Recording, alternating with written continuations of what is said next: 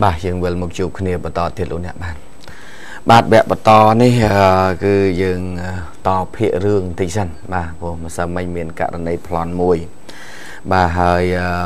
ប្រជាពលរដ្ឋរបស់យើង ដែលទូរស័ព្ទមកហងមាសនិងផ្ដល់ទាំងលិខិតទាំងអីនោះគឺច្រើនមែនទែនគឺទើតែมันអាចកណនាបានទេ ចំពោះសេវាសាធារណៈនៅតាមឃុំសង្កាត់ បាទដែលប្រជាពលរដ្ឋគាត់ទៅចំណាយខ្ពស់បាទអញ្ចឹងតិចទៀតចាំជម្រាបជូនឲ្យឃុំសង្កាត់ខ្លះខ្លះប៉ាហើយបាទដោយសារតែធ្វើម៉េចបើប្រជាពលរដ្ឋគាត់ប្រាប់មកអញ្ចឹងហើយគាត់មិនដឹងថាថ្នាក់ដឹកនាំខាងលើបានជ្រាបឬក៏អត់ទេបាទបើថ្នាក់ក្រោមគាត់ធ្វើតែបាបថ្នាក់លើអញ្ចឹងទៅទៅមិនទៅមិនត្រឹមតែប៉ុណ្ណឹងធ្វើបាបប្រជាពលរដ្ឋហ្មងចា៎ បាទឥឡូវនេះមុននឹងឈានចូលដល់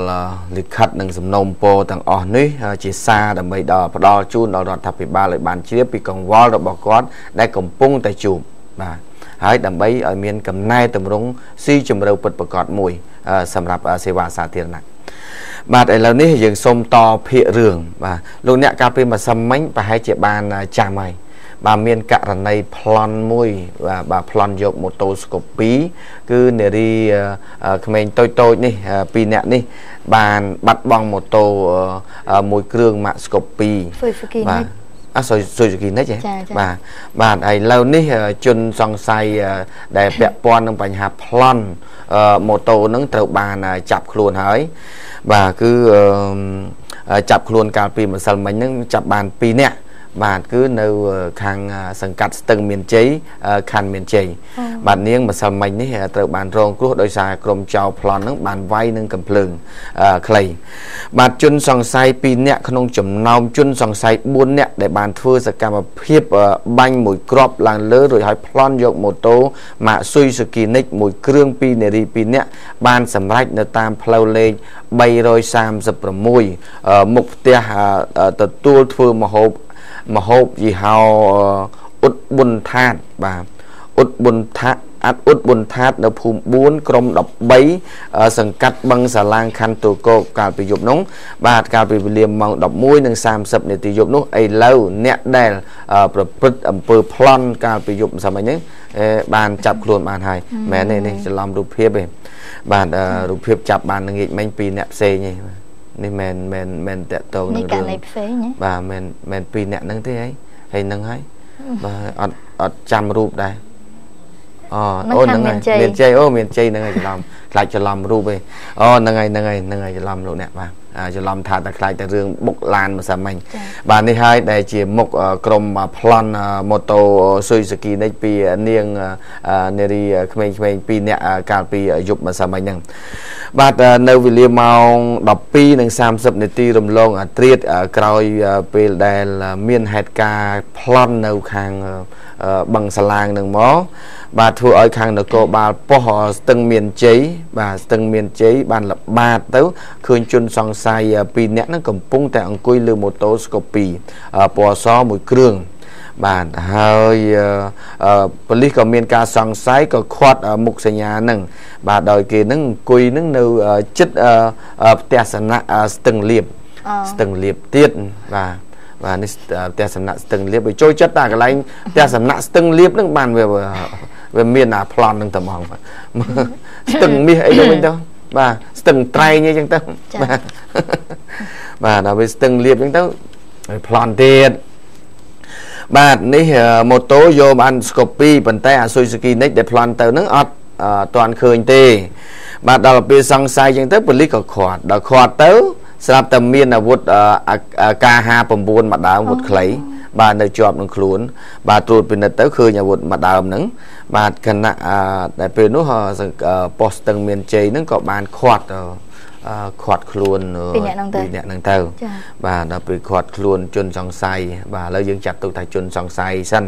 បាទដល់រាបណាតែមានការចោតប្រកាន់ពីតុលាការហើយទូទាំងនិជនតាទេបើប្លន់ហ្នឹងនិយាយប្លន់បដ ாய் ទៅលោកទេល្មើសបដ ாய் ទៅបាទ បើទៅមិនខ្ញុំនិយាយពីតាមផ្លូវច្បាប់បាទបាទតាមពិតវាពិតហើយព្រោះមានអាវុធនៅជាប់ខ្លួនហ្នឹងវានឹងទៅហើយមានតែស្អីទៀតបាទខ្លួនជនស៊ីវិលទេមានអាវុធអីនៅជាប់ខ្លួនវាខុស100%បាត់ទៅហើយលោកអើយមានស្អីបាទមានផ្ដន់ទៀតទោសទៅបើថាគាត់ជាសមត្ថកិច្ចកាន់អាវុធអាហ្នឹងអើទៅមិនសមត្ថកិច្ចក្លៀកពាក់ស៊ីវិលពេលខ្លះគាត់ស៊ីវិលបាទហ្នឹងជាសមត្ថកិច្ចចុះបើអត់មានតួនាទីអីសោះនេះ បាទតួនាទីដោយជិះតែម៉ូតូបង្ហោះដល់មានអាវុធខ្លីនៅជាប់ខ្លួនហ្នឹងមិនទៅបាទអាហ្នឹងវាត្រូវអញ្ចឹងបាទតែប៉ុន្តែឥឡូវឮថាតាមពិតបពពួករបស់គេ4នាក់បាទឥឡូវនេះចាប់បានតែ2នាក់ឯងបាទនៅ2នាក់ទៀតហើយជនដែលត្រូវបានចាប់ខ្លួនទាំង2នាក់នេះត្រូវបានគេស្គាល់ឈ្មោះថាមួយច័ន្ទសុទីអាយុ20ឆ្នាំស្នាក់នៅផ្ទះជួលសង្កាត់ទួលសង្កែខណ្ឌរសីកែវជាម្ចាស់កំភ្លើងការ59 បាទកំភ្លើងខ្លីហ្នឹងហើយម្នាក់ទៀតឈ្មោះដុចឈ្មោះដុចសីឡាបាទអាយុ19ឆ្នាំស្នាក់នៅផ្ទះជួលភូមិថ្មីសង្កាត់ស្ទឹងមានជ័យខណ្ឌមានជ័យអនេះនៅនៅផ្ទះអត់កំភ្លើងនៅស្ទឹងមានជ័យបាទអត់មានកំភ្លើងនៅទួលសង្កែបាទចំណែកឯពីរអ្នកផ្សេងទៀតសមត្ថកិច្ចប្រាប់ថារត់គេចខ្លួនបាត់ហើយ បាទឥឡូវហ្នឹងកំពុងតែបន្តតាមដានជនទាំងពីរនាក់នេះត្រូវបានសាកសួរនៅប៉ុស្តិ៍ស្ទឹងមានជ័យហើយគេបានសារភាពថាពិតជាគេបានធ្វើសកម្មភាពប្លន់នៅក្នុងសកម្មភាពប្លន់យកម៉ូតូស៊ុយសគីនិចនឹងមែនបាទបាទអូគេសារភាពហើយបាទអញ្ចឹងបពពួករបស់គេគ្នាគ្នារបស់គេ4នាក់បាទអញ្ចឹងតែឥឡូវម៉ូតូនៅឯណាឥឡូវនេះបាទហើយសួរទៀតម៉ូតូនៅឯណាព្រោះម៉ូតូស្កូពីនេះមិនមែនម៉ូតូរបស់នាងទេមិនអញ្ចឹង តែម៉ូតូរបស់នាងដែលត្រូវបានគេប្លន់ទៅហ្នឹងគឺស៊ុយសគីនិចឥឡូវអានេះម៉ូតូស្កូពីដែលគេធ្វើសកម្មភាពបិទគូតណាពីរអ្នកសម្រាប់ប្លន់ហ្នឹងទៅបាទយកអ្នកជិះទៅពីរអ្នកនេះគឺគេអ្នកបិទគូតពីក្រោយបាទគេណាតាមគេបាញ់យកហ្មងបាទនេះសកម្មភាពគេអញ្ចឹងបាទឥឡូវនេះ ខាងនគរបាលកំពុងតែកសាងសំណុំរឿងហើយបញ្ជូនទៅតុលាការបាទដើម្បីស្វែងរកចាប់ខ្លួន2នាក់ទៀតប៉ុន្តែតាមចម្លើយរបស់ជន2នាក់នេះគឺបានឆ្លើយសារភាពអស់ហើយយើងមិនចង់បាច់យកឲ្យចម្លើយលំអិតបន្ថែមទេចាំឲ្យសមត្ថកិច្ចកវួចបាន2នាក់ទៀតសូមប្រាប់លំអិតតែម្ដងពីព្រោះចម្លើយរបស់ប៉ូលីសខ្លះគេត្រូវការយកឲ្យចម្លើយហ្នឹងដើម្បីទៅស្រាវជ្រាវតាមចាប់មុខសញ្ញាដែលកិច្ចខ្លួនហ្នឹង បាទអញ្ចឹងទេឥឡូវទូទាំងនៃជនជួបអាចចង់ដឹងថាវានិយាយថាម៉េចបាទចាំដល់ពេលចប់ទៀតយើងកុំឲ្យលូកលាន់កិច្ចការស្រាវជ្រាវរបស់សមត្ថកិច្ចយើងបានតែត្រឹមប៉ុណ្ណឹងសិនចុះបាទនេះកន្លែងចាប់ខ្លួនបាទ ចាប់នៅមុខផ្ទះសំណាក់ស្ទឹងលៀបហ្នឹងមែនទេអីកន្លែងកើតហេតុដំបងហ៎មែនទេមែនទេអូកន្លែងកើតហើកើតហេតុមែនតើឡើងកើតហេតុទេច្រឡំបាទថាតែកន្លែងស្ទឹងលៀបតែឡាស្គាល់ទេស្ទឹងលៀបអត់អត់ដែរឃើញទេស្ទឹងលៀបនៅក្បែរគ្នានិយាយថាគេថានៅស្ទឹងមានជ័យតែអត់ដែរបាទនៅស្ទឹងមានជ័យបាទស្ទឹងមានជ័យបាទហើយនៅក្បែរក្បែរគ្នានេះស្ទឹងលៀបនៅគៀកគៀកគៀកគ្នាបាទតោះយើងបន្តទៅរឿងមួយទៀតបាទសិលាចាប់ផ្ដើម ចារឿងមួយនេះជាករណីគ្រោះថ្នាក់ចរាចរណ៍ម៉ូតូពីរគ្រឿងចាបុកគ្នាធ្វើឲ្យបែកបំពង់ទឹកក្តៅខាងម្ចាស់បំពង់ទឹកក្តៅហ្នឹងក៏បានទៀមទាសំណង10ដុល្លារហើយមួយខាងទៀតក៏អត់មានលុយសងចាសូមបញ្ចាំទូរស័ព្ទ ដល់ពេលដែរឥឡូវមើលបាញ់ពងទឹកក្តៅម៉ូតូបុកម៉ូតូបាញ់ពងទឹកក្តៅអូមែនពងទឹកក្តៅបុកពងទឹកខ្មៅទេថាថាពងទឹកក្តៅបុកពងទឹកក្តៅបែកកុំឲ្យគេឆ្ងល់ថាម៉ូតូបុកម៉ូតូ បែកពងទឹកក្តៅទៅឡាយបែកពងហើយយ៉ាប់បណ្ដោយចាគឺករណីហ្នឹងមួយខាងទៀតហ្នឹងគាត់សុំថាអឺសំណងចាគាត់សុំសំណង10ដុល្លារណាធ្វើដែលធ្វើឲ្យបែកពងទឹកក្តៅគាត់ប៉ុន្តែមួយខាងទៀតដោយសារតែគាត់អត់មានលុយសងចាគឺគាត់បានសពេះអង្វរចាអង្វរហើយនៅបានយកទូរស័ព្ទ Nokia ចាស់មួយ Nokia 7អញ្ចឹងហ្នឹងយកទៅប្រចាំជាមួយនឹងមួយខាងទៀតចាប៉ុន្តែដល់ពេលដោយសារតែភាគីទាំងពីរមួយខាងដែលគាត់បាញ់កំពុងទឹកក្តៅហ្នឹងគឺគាត់អាណិតពេកគាត់អត់យកសំណងតែម្ដងទៅចាដោយសារតែគ្នាអត់លុយហើយគាត់និយាយថាមុនដំបូងថាទាយកអាថ្លៃថាបែកកំពុងទឹកក្តៅទេ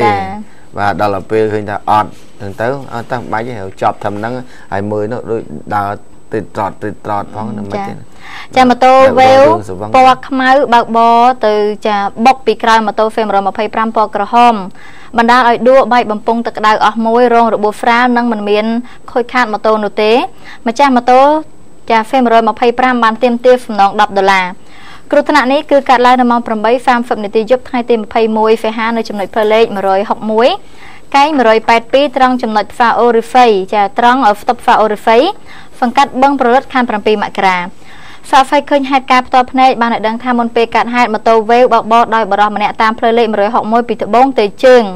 ក្នុងទិសដៅស្របគ្នាជាមួយនឹងម៉ូតូ Fame 125 ហើយគណៈដែលមកដល់ស្តុបចាម៉ូតូវេវជិះលឿនពេកជ្រុលទៅបុកពីក្រោយម៉ូតូ Fem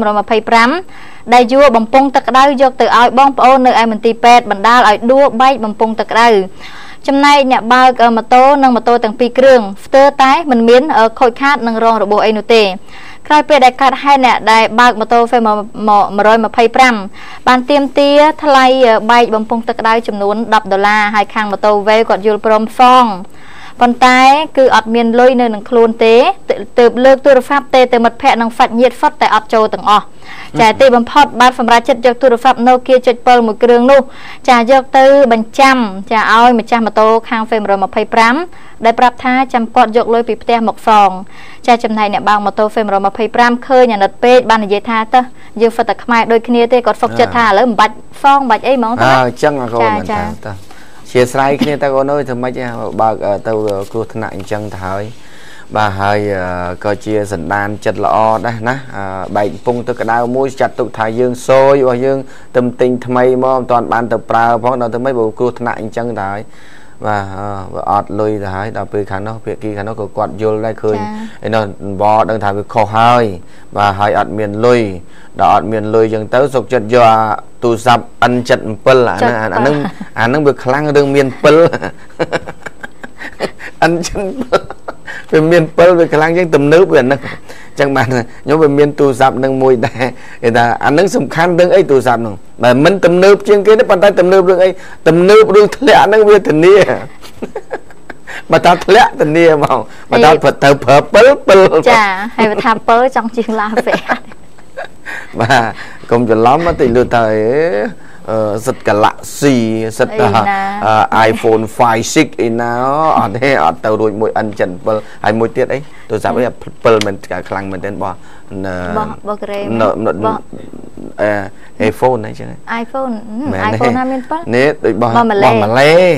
បោះម៉ាឡេខ្ញុំប្រើអាហ្នឹងមួយដែរហ្នឹងអាហ្នឹងប្រើសម្រាប់ឆ្លោះកែបបាន វាភ្លឺភ្លឺពេកហើយហើយបើថាសំលេងនេះបើថាដាក់សំលេងគឺថាបើថាដេកលក់នេះផ្អើលគេផ្អើលឯងតែមើលទូទួបានទៀតទូទួចាតែវាថោកថោកដែរចាល្អប្រើតែហ្នឹងហើយតែថាជួនកាលបើថាពេលខ្លះហ្នឹងអ្នកណាចូលទៅហូបចុកពេលផឹកស៊ីសវឹងអីហ្នឹងយកវាយទៅកកបានបាទយើងប្រើអញ្ចឹងបាទឥឡូវតោះទៅបន្តចាឥឡូវយើងចូលទៅមួយរឿងទៀតដែលករណីមួយនេះ គឺប្រវងហ្វ្រាជិះម៉ូតូទៅបុកកង់ដួលសន្លប់ទាំងសងខាងចាយុវជនម្នាក់ហ្នឹងគាត់ផឹកហ្វីប្រវងជិះម៉ូតូទៅបុកកង់ពីក្រោយបណ្ដាលឲ្យដួលសន្លប់រងរបួសធ្ងន់ទាំងពីរនាក់ហើយក្រោយពេលអឺចាគ្រោះថ្នាក់នេះគឺបានកាត់ឡើងនៅម៉ោង7:25នាទីយប់ថ្ងៃទី21សីហានៅតាមបណ្ដោយផ្លូវជាតិលេខ3ភូមិអឺហ្វ្រែញ៉ូសង្កាត់ពងទឹកខណ្ឌដង្កោ ប្រភពព័ត៌មានពីជនរងគ្រោះចាដែលអឺពីជនរងគ្រោះដែលជាអ្នកជិះកង់ឈ្មោះងួនឈ្មោះចាគួនប្រុសភេទភេទប្រុសចាអាយុនឹង34ឆ្នាំមុខរបរជាកម្មករសំណង់ទេហើយមានទីលំនៅនៅភូមិត្រពាំងកុយឃុំបែកអង្គុយមានមានតាតើមានហើយនឹងមានហើយចាខុំបៃចានហ្វ្រឹកអង្គហ្វ្រឹកតើ ពេលសើចគាត់ទៅគុំទៅពាំងអង្គុយគាត់សើចទេវិញអាណាដែលអត់កុយខាងហ្វ្រឹកអង្គភ្នួខេត្តកណ្ដាលគាត់បានឲ្យដឹងថាមុនពេលដែលកើតហេតុហ្នឹងគឺគាត់ជិះកង់ចេញពីផ្ទះក្នុងទិសដៅពីត្បូងទៅជើងហើយគណៈដែលមកដល់ដល់ចំណុចខាងលើម៉ូតូស្កូពីពណ៌ក្រហមបើកបរដោយយុវជនម្នាក់ក្នុងស្ថានភាពស្រវឹងទៅហើយគាត់បានបើកទៅបុកពីក្រោយកង់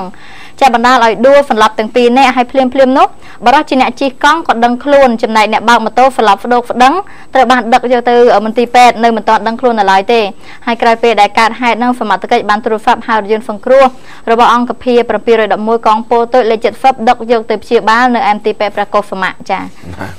កង់ឲ្យកង់ម៉ូតូអង្គង់អឺម៉ូតូឲ្យកង់ចាអត់អត់អត់មានធ្លាយពវៀនទៀតទេ អត់មានកង់ធ្លាយពវៀនមិនមែននិយាយធ្លាយពវៀននោះទេណាបាទនេះសិលាគ្រាន់តែលឺឈ្មោះតពាំងកុយហេងក៏ប៉ុតឈ្មោះអត់សូវសោចទេចាសោចលោរធីហ្នឹងតែមកខឹកហ្នឹងទៅចេះតែនឹកនេះគាត់រោគរបួសនៅមន្ទីរពេទ្យហើយបាទគ្រោះថ្នាក់ចរាចរណ៍ដែលកើតឡើងកាលពីយប់មិញថ្ងៃមុនវាមានតែទូរស័ព្ទចេះសិលាហ្នឹងមិញនេះសង្កាត់ពងទឹកចាប់តែទូរស័ព្ទមកលោករដ្ឋីហងមាសមែនបាទហងមាស ពូពូមានគ្រោះថ្នាក់ម៉ូតូបុកជាមួយឡានបងនៅសង្កាត់ពងពងមនុស្សបងខណ្ឌដង្កោឯតាខណ្ឌដង្កោមានសង្កាត់ពងមនុស្សណាអូពងពពងទឹកបងមែនអីគាត់និយាយច្រឡំគាត់និយាយគាត់ច្រឡំគាត់អូខ្ញុំថាអត់ទេសង្កាត់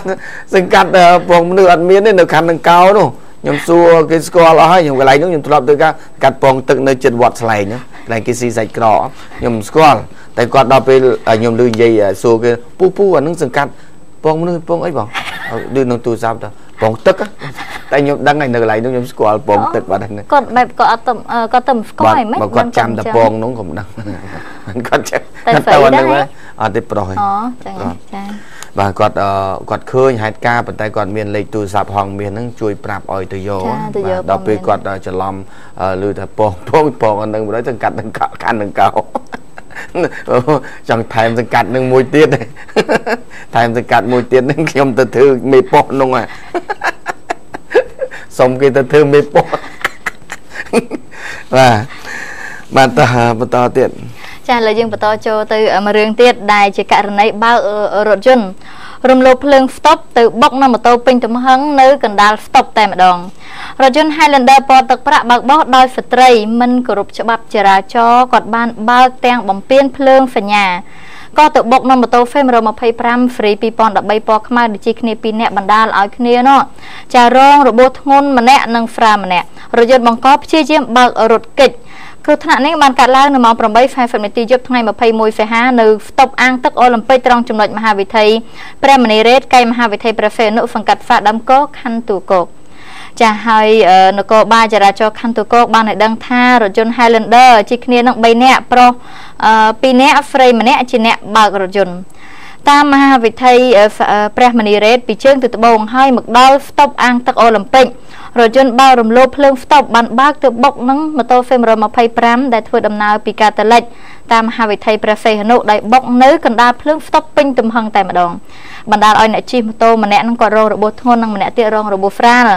ចំណែករថយន្តបង្កគឺព្យាយាមបោករត់គេចទៅដល់ស្តុប DN សមត្ថកិច្ចខាត់បាននាំយកទៅធ្វើការដោះស្រាយនៅកន្លែងកើតហេតុវិញចាស់ហើយក្រោយពេលដែលកើតហេតុភៀកគីតែខាងរថយន្តបានចរចាជាមួយអ្នករងរបួសចាស់សងសំណង80ដុល្លារបញ្ចប់រឿងចា៎ បាទឥឡូវយើងបញ្ចប់រឿងគ្រោះថ្នាក់ចរាចរណ៍ប៉ុណ្ណឹងហើយខ្ញុំសូមយកសំណុំពរបាទអឺឥឡូវយើងភ្ជាប់តកតងសេឡាមើលមានអីមួយទៀតចាចង់ទៅខាង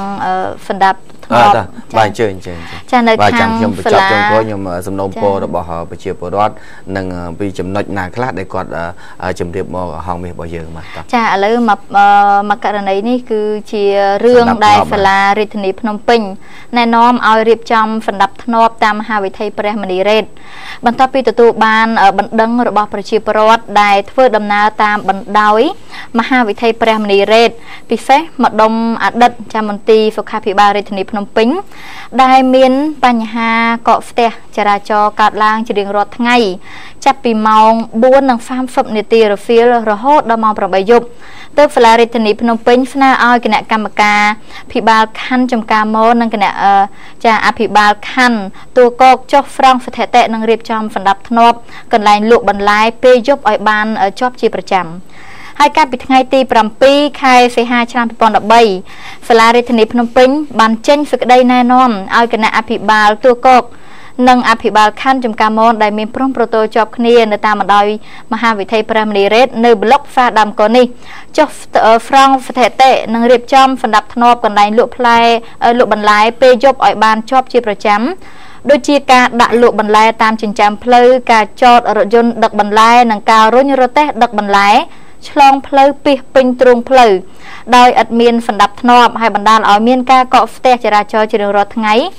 និងចាបង្កឲ្យមានគ្រោះថ្នាក់ចរាចរណ៍កើតឡើងជាញឹកញាប់ផងដែរគូបញ្ជាក់ផងដែរថាតាមបណ្ដោយមហាវិថីព្រះមនីរ៉េតអមសងខាងផ្លូវចាយប់ចាពេលយប់គឺកើតពេលយប់ឡើង គឺពោពេញទៅដោយការដាក់តាំងលក់បន្លែពីសវាពីសកាលរួមផ្សំនឹងការរុញរទេះដឹកបន្លែ រុញឆ្លងកាត់ទ្រង់ផ្លូវរញ៉េរញ៉ៃធ្វើឲ្យផ្ទះចរាចរណ៍ជារៀងរាល់យប់បន្ទាប់ពីទទួលបានការណែនាំពីសាលារដ្ឋាភិបាលភ្នំពេញគណៈកម្មការផ្សារដើមកបានរៀបចំសម្ដាប់ធ្នាប់ការដាក់តាំងលក់បន្លែនៅតាមមហាវិថីព្រះមនីរ៉េត ក្នុងសង្កាត់ផ្សារដើមកជារៀងរាល់យប់ចាទន្ទឹមនឹងនោះក៏មានកម្មករអស់រទេះបន្លែមួយចំនួនបានលើកចាយករបាំងថ្មពុះចែកទ្រូងផ្លូវទៅបោះចោលចាអស់អស់ពីប្រឡោះចាដើម្បីងាយស្រួលនៅក្នុងការរុញបន្លែឆ្លងកាត់ផ្លូវកុំឲ្យវាពិបាកលើករំលងទ្រូងផ្លូវចាកតាទាំងអស់នេះ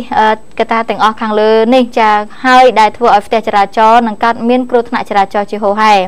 អាជីវករក៏ដូចជាប្រជាពលរដ្ឋសូមសំណូមពរឲ្យសាលារដ្ឋាភិបាលភ្នំពេញដាក់របាំងថ្មពុះចែកផ្លូវឲ្យខ្ពស់កុំឲ្យរទេះរុញឆ្លងកាត់បានបន្តទៅទៀតចាបាទឥឡូវចេះបើបានតែឃើញរូបភាពនេះហើយហើយខ្ញុំក៏បានជួបឲ្យឆ្លងកាត់តាមនឹងដែរនិយាយតែម្ដងទៅបាទបាទកន្លែងនេះមិនមែនទើបនឹងកើតឡើងពេលនេះទេលោកអ្នកបាទហើយសាលាក្រុងក៏មិនមិនគួរតែត្រូវដឹងពេលនេះដែរបាទគួរដឹងយូរហើយបាទកន្លែងតំណឹងនោះបាទសងខាងផ្លូវនេះចែកចេញជា2ខណ្ឌ ខណ្ឌទូកោកនិងខណ្ឌចំការមនបាទនៅកន្លែងនោះជាទូទៅចាប់ពីម៉ោង9យប់ឡើងទៅលោកអ្នកធ្វើដំណើរឆ្លងកាត់តាមផ្លូវព្រះមនីរ៉េតលោកអ្នកនឹងបានឃើញនៅចិត្តកន្លែងផ្សារដើមកោហ្នឹងគឺសុទ្ធតែកន្លែងផ្ទេតំណែងប្រភេទតំណែងបន្លែបាទគឺផ្ទេរហូតទល់ព្រឹកម៉ោង4 7ព្រឹកហ្នឹងបានចប់ ប៉ុន្តែបើសិនជាយើងធ្វើដំណើរតាមនោះលោកអ្នកនឹងជាប់ហើយចាប់ពីម៉ោង10 11ឡើងទៅគឺបើទៅក៏ទៅកើមកើមដែរឥឡូវនេះរហូតដល់កន្លែងហ្នឹងរនាំងថ្មពុះចែកផ្លូវកដាលហ្នឹងត្រូវបានគេដកចេញពីកង់ដើម្បីអូសបន្លែកាត់ចុះឡើងចុះឡើងបើអញ្ចឹងទេបញ្ហាទី1ដែលប្រជាពលរដ្ឋគាត់លើកឡើងជាជាយោបល់របស់គាត់គាត់ថា តើគួរសាលាក្រុងរកទីតាំងឲ្យគាត់មួយខុសពីកន្លែងតាមផ្លូវដែលកន្លែងផ្ទេបន្លែនឹងបានទេបាទពេលព្រោះលោកអ្នកឃើញហើយឃើញសំណាប់ធ្នាប់ខាងលើហើយបើគឺគាត់ទៅបច្ចាស់បច្ចាស់ចុះបច្ចាស់ឡើងមានអាបច្ចាស់មានអាបដោយមានអាអូសមានអាទាញបាទមានអាឡានមកចតចឹងមកតើតើសំណាប់ធ្នាប់វាយ៉ាងម៉េចទៅវិញបាទប្រជាពលរដ្ឋគាត់ឃើញញឹកញាប់កន្លែងហ្នឹងប៉ុន្តែមិនដឹងជានិយាយប្រាប់នរណា ហើយរួចហើយមកចិត្តមកខ្សឹបប្រាប់ហងមាសឲ្យជួយខ្សឹបដាក់មីក្រូតិចមកតនឹងដឹងសាលាក្រុងឃើញអត់ទេបាទហើយសាលា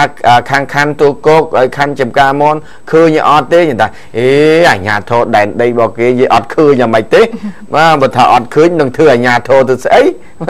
ព្រោះហួពេលដឹងទៅហើយប៉ុន្តែគាត់ថាជួនកាលពេលខ្លះគាត់ធ្វើអត់កើតឬក៏គាត់ដាក់ខែគេអស់ហើយចាវាទៅចែវាបងខែ បាទអញ្ចឹងទេឥឡូវសូមអធិស្ឋានចំពោះអាជីវករផងដែរបើសិនជាយើង គេរៀបចំសំណាប់ធ្នាប់បាទហើយដល់ពេលគេចាប់ដើមធ្វើបែរជាទៅបន្ទោសទៅអាជ្ញាធរអានឹងពិតជា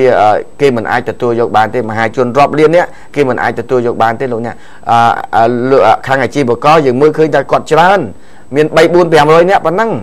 ប៉ុន្តែមហាជនគេរាប់លាននាក់បាទពលរដ្ឋខ្មែររបស់យើងជិត15លាននាក់ទៅហើយ បាទអញ្ចឹងពេលដែលឃើញទស្សនវិជ្ជាគេធ្វើដំណើរតាមហ្នឹងតើគាត់យល់យ៉ាងម៉េចឥឡូវនេះអាកន្លែងកាត់ផ្ដាច់រនាំងនេះគឺគឺមិនមែនសាលាក្រុងមិនមែនអាជ្ញាធរជាអ្នកកាត់ទេ គឺគាត់អ្នកអូរទេសដឹកបន្លែហ្នឹងគឺគាត់ជាអ្នកកាត់អឃើញទេមានអ្នកណាឲ្យទៅកាត់អញ្ចឹងហើយដោយដោយសារតែអាជ្ញាធរគាត់ទុកចន្លោះប្រហោងឲ្យការរៀបចំសណ្ដាប់ធ្នាប់នៅកន្លែងផ្សារដើមកូនហ្នឹងហើយបានជាធ្វើឲ្យបញ្ហាហ្នឹងកាន់តែរញ៉េរញ៉ៃទៅរញ៉េរញ៉ៃទៅ បាទអញ្ចឹងទេសូមឲ្យការរៀបចំសណ្ដាប់ធ្នាប់កន្លែងហ្នឹងទៅហើយបើសិនជាមានលទ្ធភាពសូមឲ្យសាលាក្រុងយកទីតាំងកន្លែងណាមួយដាក់គាត់មកដុំតែម្ដងទៅក៏ល្អដែរបាទតែខ្លាចថាពេលខ្លះរកទីតាំងថ្មីបានហើយគាត់អត់ទៅមានអត់ទៅអញ្ចឹងដែរគាត់តែពេលខ្លះគាត់ត្រូវការទៅតាមផ្លូវអញ្ចឹងដែរព្រោះយើងដឹងស្រាប់ហើយអ្នកលក់ខ្លះគាត់ឆ្ងាញ់ទៅតាមផ្លូវ បាទគាត់ថាតាមផ្លូវស្រួលលក់អ្នកដែលធ្វើដំណើរមកគេខ្ជិលចុះឡានដើរចូលទៅក្នុងផ្សារ